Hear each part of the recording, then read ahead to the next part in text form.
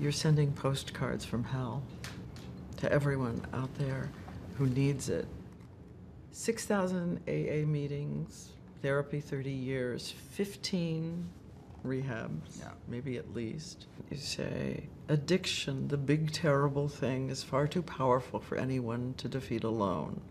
But together, one day at a time, we can beat it down. Yeah, I, I believe that's true. Your disease is just outside, just doing one arm push ups, just waiting, just waiting for you, waiting to get you alone.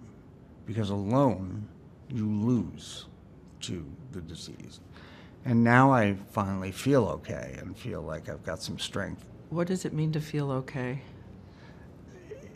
It means that I've developed some safety nets around this. I'm doing really well now. For some reason, it's obviously because I was on Friends, more people will listen to mm-hmm. me. So I've got to take advantage of that. I've got to help as many people as I can.